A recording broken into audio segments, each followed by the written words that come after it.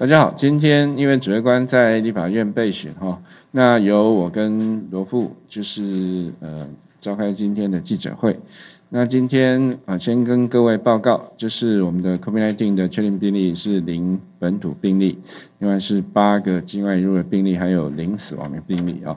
那这八个境外入的病例是呃六例男性，两例女性。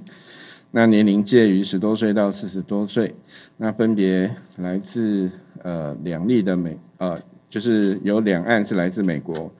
呃一案来自乌克兰，一例一案来自阿拉伯联合大公国，另外有三案来自菲律宾，还有一案来自印尼啊。那另外，另外呃，就今天早上大家新闻也有报道，就是。呃，早上有第八批的 BNT 疫苗，八十二点七万啊，那底台，那这是由台积电、红海暨友人基金会跟慈济基金会共同捐赠 BNT 疫苗一千五百万剂，那目前已经到货了五十五百九十二二万剂啊，那这批疫苗的有效效有效的效期是到明年的二月十七号为止啊。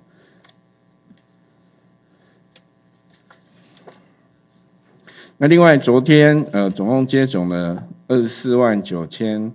零七十七剂的这个 COVID-19 的疫苗。那以 A D 接种四万零三百九十九剂，